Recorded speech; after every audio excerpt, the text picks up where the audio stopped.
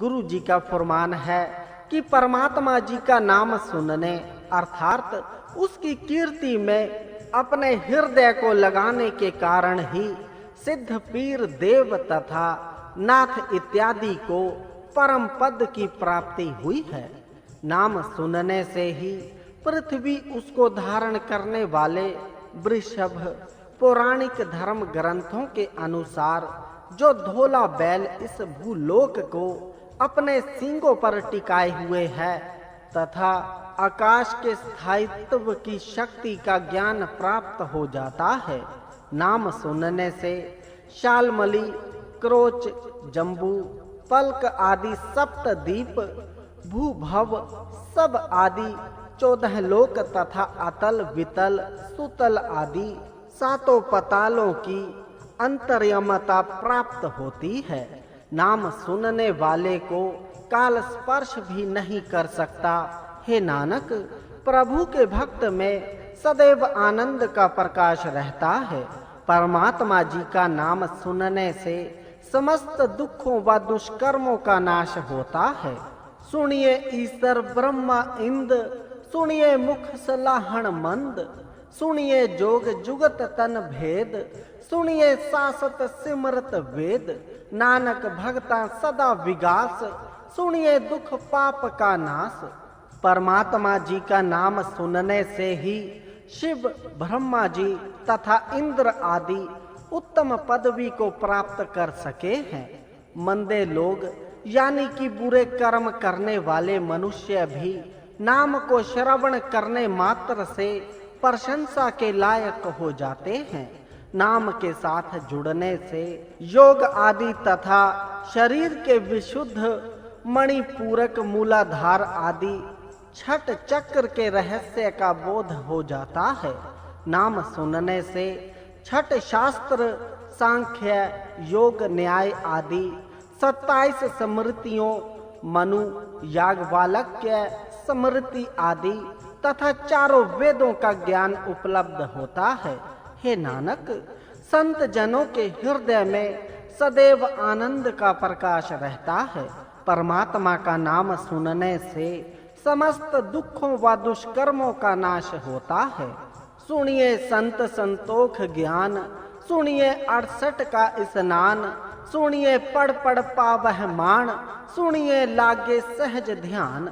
नानक भगता सदा विगास, सुनिए दुख पाप का नाश नाम सुनने से मनुष्य को सत्य संतोष व ज्ञान जैसे मूल धर्मों की प्राप्ति होती है। नाम को सुनने मात्र से समस्त तीर्थों में श्रेष्ठ अड़सठ तीर्थों के स्नान का फल प्राप्त हो जाता है।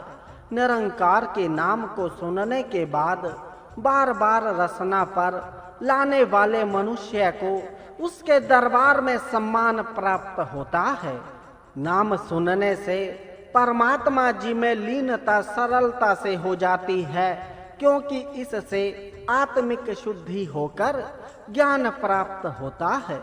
हे नानक, प्रभु के भक्तों को सदैव आत्मिक आनंद का प्रकाश रहता है। परमात्मा का नाम सुनने से समस्त दुखों व दुष्कर्मों का नाश होता है।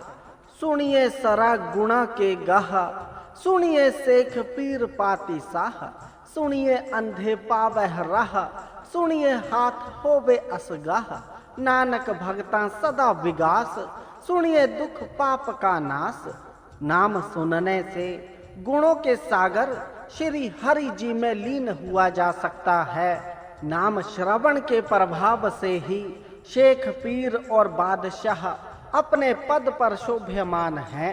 अज्ञानी मनुष्य प्रभु भक्ति का मार्ग नाम श्रवण करने से ही प्राप्त कर सकते हैं। इस भव सागर की अथाह गहराई को जान पाना भी नाम श्रवण की शक्ति से संभव हो सकता है।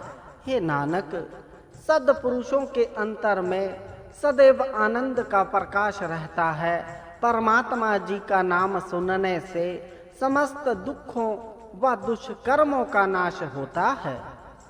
मन्ने की गत कही न जाई, जय को कहे पीछे पछुताई, कागद कलम न लिखण हार। मन्ने का वह करण विचार, ऐसा नाम निरंजन होई, जय को मन जाने मन कोई।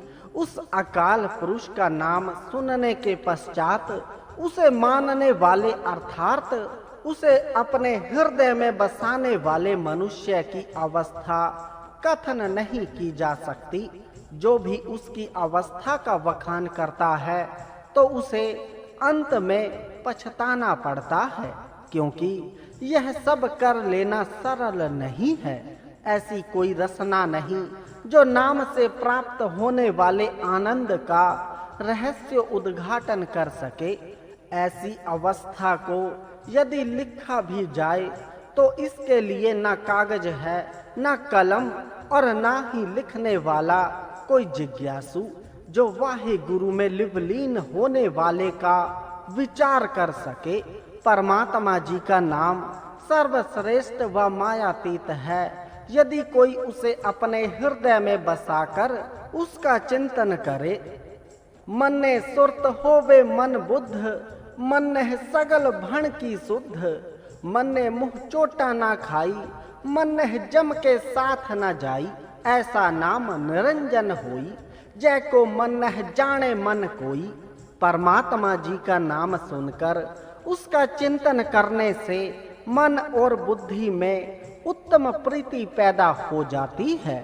चिंतन करने से संपूर्ण सृष्टि का ज्ञान बोध होता है। चिंतन करने वाला मनुष्य कभी संसारिक कष्टों अथवा परलोक में यमों के दंड का भोगी नहीं होता। चिंतनशील मनुष्य अंत काल में यमों के साथ नरकों में नहीं जाता, बल्कि देवगणों के साथ स्वर्ग लोक को जाता है। परमात्मा जी का नाम बहुत ही श्रेष्ठ एवं मायातीत है। यदि कोई उसे अपने हृदय में लीन करके उसका चिंतन करे, मन नह मार्ग ठाक ना पाई, मन नह पत शिव प्रगट जाई, मन नह मंग न चले पथ, मन नह धर्म से संबंध, ऐसा नाम निरंजन होई जय को मन नह जाने मन कोई। निरंकार के नाम का चिंतन करने वाले मानव जीव के मार्ग में किसी प्रकार की कोई बाधा नहीं आती। चिंतनशील मनुष्य संसार में शोभा का पात्र होता है। ऐसा व्यक्ति दुविधा पूर्ण मार्ग अथवा संप्रदायिकता को छोड़ धर्म पथ पर चलता है। चिंतनशील का धर्म कार्यों से सुदृढ़ संबंध होता है। परमात्मा जी का नाम बहुत ही श्रेष्ठ एवं मायातीत है।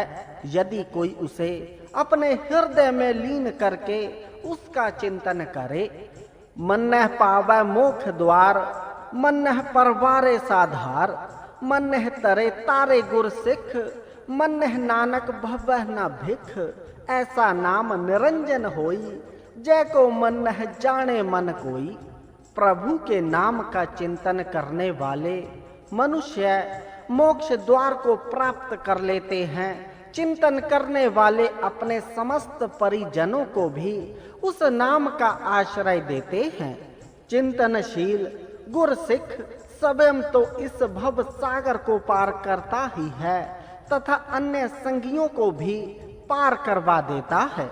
चिंतन करने वाला मानव जीव, हे नानक, दर दर का भिखारी नहीं बनता परमात्मा जी का नाम बहुत ही श्रेष्ठ एवं माया अतीत है। यदि कोई उसे अपने हृदय में लीन करके उसका चिंतन करे, उपरोक्त चार पौड़ियों में नाम को सुनने के पश्चात उसका चिंतन करने तथा निंद्या सनम की महिमा का वर्णन किया गया है। यदि गौर किया जाए तो यह गुरु काल से ही परंपरा चली आ रही है कि पहले गुरु मंत्र कानों द्वारा जिज्ञासु के अंतर में प्रवेश करता है, फिर उस अमृत नाम का निरंतर चिंतन जीवा द्वारा किया जाता है। यही नाम फिर हृदय में सुमरण का रूप ले लेता है। हृदय से किए जाने वाले सुमरण से यूँ प्रतीत होता है। मानो मुह, रसना, नेत्र तथा शरीर के रोम रोम में वह गुरु विद्यमान है। इस चिंतन से ही साधक उत्तम पदवी प्राप्त करता है।